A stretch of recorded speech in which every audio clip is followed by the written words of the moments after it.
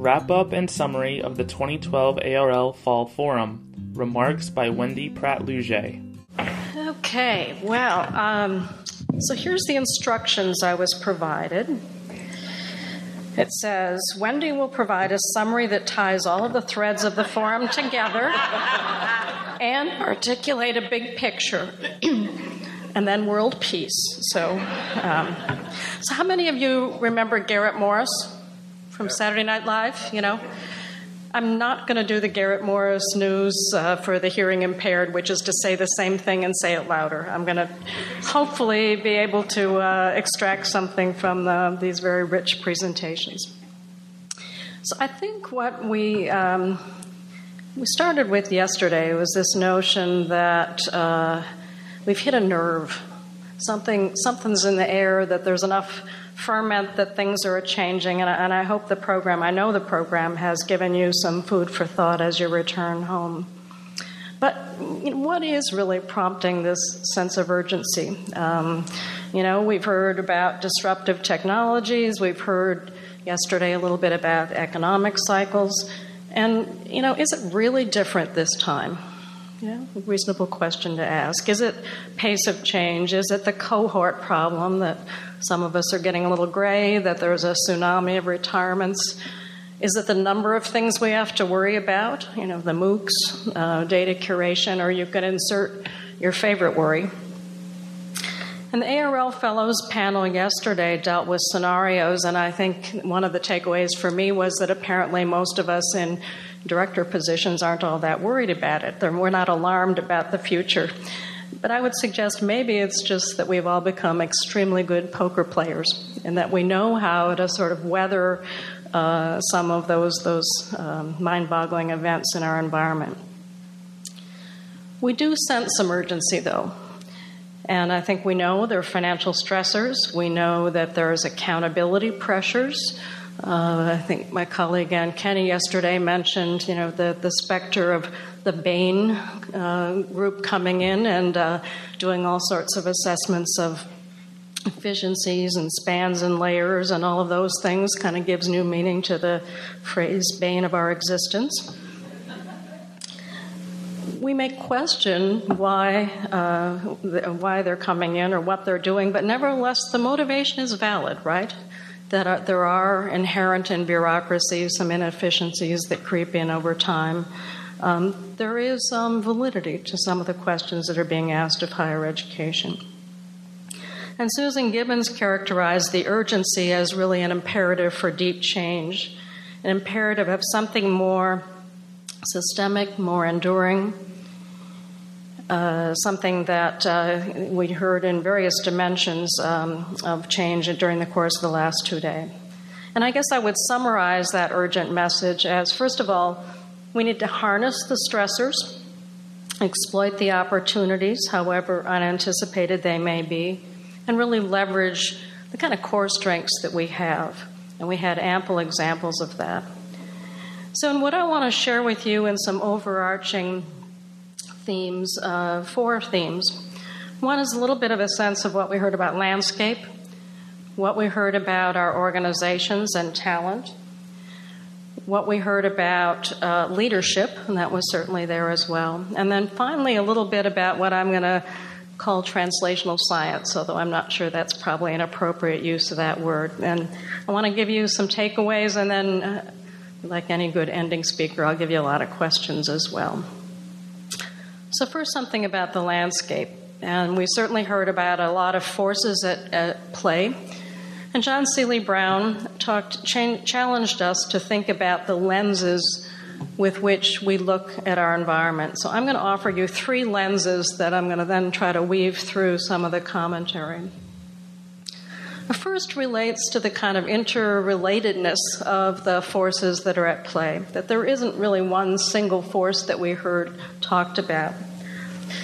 And my former colleagues back at the University of Michigan School of Information used, uh, when, they, when they became an iSchool, the Borromean rings as a logo. And I wish I had three hands to, to show you what it looks like.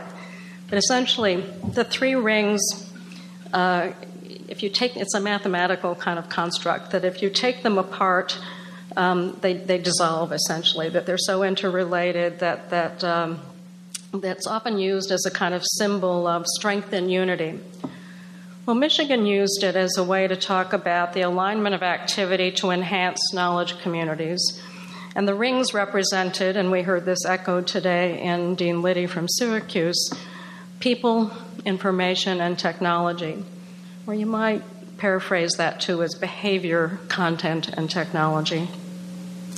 I think it's a useful lens to think about because, whoops, I touched something I shouldn't have. Just a minute. uh, unless I want to see my photo library, which I don't think I do, uh, or an itinerary for a candidate. There we go. Okay. Um, it's a useful concept to think about the relationships in our domain. How does technology change an individual's work? How do we think about how information architecture changes technology and when we try to exploit it, or how do individuals impact each other. So there's no one force there, but it's those three interconnected and inseparable len- uh, elements in this lens. And it helps us to understand, I think, the multiple dimensions of change. a small footnote I would add that I think School of Information's use of that visual was a really important and useful strategy of telling the narrative, again, to quote John Seely Brown. So, questions from that lens think about how do we explore the interrelationships of the forces in our environment, and how do we pay attention to them? The second lens is a quote I want to take from a computer scientist, and this is actually from the beginning of the century, the, the 21st century, um, a guy named Hal Berghel. And he writes By 2100, our current view of electronic publications as copyrightable artifacts will be viewed primarily as a historical allegiance to a pre participatory, non interactive, essentially dull and lifeless era of publishing an era in which one th- thought of digital libraries as a collection of linked things rather than articulated processes and procedures. I love this quote you know, to me, it's, it's capturing a fundamental change that we've talked about throughout the, the last uh, two days, and that is the shifting focus of our work from products, publications, to processes and workflows. And I think we heard JCB echo that too in talking about moving from uh, stock to flows. Remember, he used that concept? And indeed, he forecast something even more dramatic with a quote about no fixed canons of text, boundaries of disciplines, only paths of inquiry. It's a pretty profound kind of paradigm shift to think about. So, questions I take away from that lens is how do we move from this paradigm of product to thinking about supporting the processes within the academy? It's a big question for our libraries. The third lens I want you to think about our opening speaker, uh, Dr. Chimente, talked to, challenged us to engage within the new university. And he was really getting at the sense of all of the things that have been bubbling through the conversation all week here at ARL and talking about MOOCs and, and uh, efficiencies, all sorts of things. And the quote want to share with you to think about engagement is one that comes from Lorcan Dempsey. It's a little old now, it's from 2006. But he writes Where attention is scarce, the library needs to provide services which save time, which are built around user workflow, and which are targeted and engaging. And this means that the library will have to shape its offering in the digital environment more actively. Simply aggregating resources is not enough. These resources will be shaped and projected into user environments in ways that support learning and research objectives.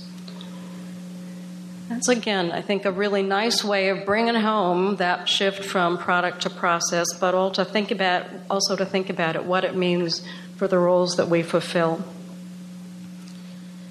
And I could argue that what we what we project into user environments is not just the content anymore, but it's ourselves. It's the expertise. So the questions that I think that lens raises is how do we adapt our resources to be truly engaged? You know, how do we figure out what that workflow is? Do we need anthropologists or do we need to inculcate those skills within our staff? So, the second big theme I want to talk about is organization and talent. And Kathleen DeLong yesterday noted that the seeds of our future staff are already germinating. And she was referencing, I think, that next generation of professionals. Clearly, the iSchools can help play a critical role in germinating those seeds of talent and, and teeing up the kinds of issues that we need to address. But frankly, the seeds of talent may already be germinating in our organizations. So, a lot of what we heard also is about nurturing those seeds. What's the fertilizer? What's the right climate? How do we harvest that talent?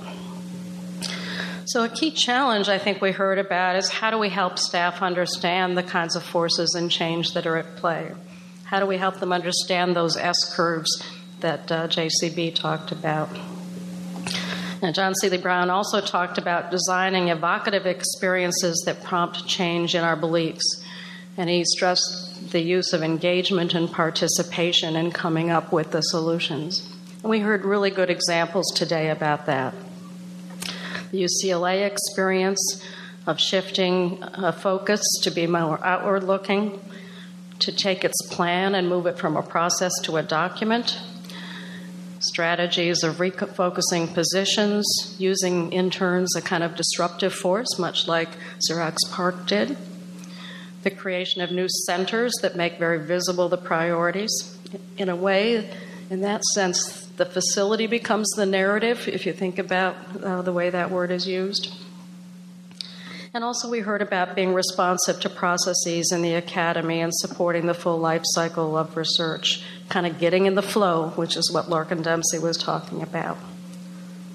So, a question I think is how do we exploit our assets, our collections, our space, and our expertise? And, and UCLA again gave us some really good examples, as did Saskatchewan, but in a, in a different way. I loved the description of the culture as uh, being akin to pulling a rusty nail out of wood. And I could see many of you kind of visibly kind of cringing and put the gloves on. Um, but it's an interesting tidbit that they offered us. First of all, do we all have a sense of the baseline cultures in our environment? And fabulous that they did that first to get a sense of the change over time. And their three year people plan had some wonderful ingredients of developing leadership, collaboration skills, and communication. And also thinking about that notion of personal development plans. How many of us have them? Um, we, if we want them in our staffs, we, we ought to have them ourselves as well. I'll just share on a personal note in, in looking at the, the uh, similar kinds of plans we've gone through this past year, they resonate very much so with what, what we heard from um, colleagues at other institutions here, thinking about knowledge development, leadership training, building assessment capacity, and thinking about how we build that repertoire of working in groups and working across organizations. The third theme leadership. And I think a number of our speakers talked about leadership not being just positional. It's not the people that have director in front of their name or manager or supervisor, but it's everyone from the circulation clerk to the UL. And John Carter Brown offered that interesting graphic about uh, he distinguished between dramatic change, which was revolution, to organic change, which was rejuvenation, to systemic change, which was reform. And he said the real challenge is figuring out how to pace that rhythm of change. To me, that's a leadership role. And we heard about several styles of leadership today. Gary Strong talked about uh, how the repertoire of nurturing a responsive organization and building capacity to ensure that every individual understands where the library is going, uh, Jill told us about Saskatchewan's the impact of a new leader and what it meant when her clear message was one of a values based conversation. And I would just add three other leadership strategies that weren't noted explicitly, but I, I think can have a profound effect. One is something I tend to call the Wicked Witch of the West technique, which is thinking about these things have to be done delicately You know, that really having a sense of what the sensitivities of an organization are when affecting change. The second is the value of small wins, the, the Karl Weick approach. And we heard a little bit about that today, too, in looking at big data versus small data. And lastly, the leader as a master communicator, the storyteller, the value of narrative and sharing the vision. And I think our last panel gave us a taste of a different kind of leadership. How do new specialists offer both new uh, services but also how do they become internal change agents? And similar to JCB's story about those two individuals at the Xerox copier, that notion of rubbing elbows while you're problem solving, uh, bringing specialists together can have a very instrumental value within the organization. So, the last theme, and I, I called it translational science, but maybe it's translational art how much talk these days about translational science, and it's really just the, that sense of exploiting data to bridge disciplinary interests, uh, kind of informatics themes. But much of what we're talking about today is, is also translation from theory to practice, from leadership to organization, from libraries to the users. So I think translation is an important role we have to think about. Indeed, TK referenced the importance of being a polyglot, working toward collaborative solutions, but being able to speak in different conceptual frameworks. And JCB offered a different take on translation. Excuse me. The need to uh, have a meta narrative for our organizations. He highlighted how important it is to have a compelling narrative about our roles something that's strategically ambiguous. I think we all loved that phrase. Something that's positive, that is to say, champion and aspirational. And I think the iSchools have an opportunity to help us with translation. And I'm losing my voice. so I'm going to leave you with a few final questions and a cough. How do we transform and convey our classic roles? in light of everything that we've heard about? How do we create new capacities? How do we incorporate the constant transitions? And what is the organizational action to translate these changes into action? So, we heard about several strategies appreciate the trends, exploit them, engage staff in understanding the la- landscape create the narrative, whether it's a story or a visual, value the disruptions, whether it's a budget cut, which can be a good thing sometimes, new positions, and truly invest in the organization, invest in changing the culture, and invest in germinating the seeds of talent, uh, whether they are the ones that are already there in our organizations or the new cohort that we're trying to recruit. So when Jim Neal introduced our last session, he closed by saying, No one goes home from ARL hungry. And I hope we have addressed your appetite to learn, piqued your taste for change, perhaps with some new models or menus, and finally motivated you to create a movable feast, if you will. That is to say, go home and share it So I want to close by thanking all of our speakers who, and all of you who have put together this wonderful program, and all of you who have participated and who will sustain, I hope, the dialogue back home, because you are very much a part of shaping our organizations and our workforce, and certainly our collective future. So, safe travels. Thank you. Thank you for listening. Music was provided by Josh Woodward. For more talks from this meeting, please visit www.arl.org.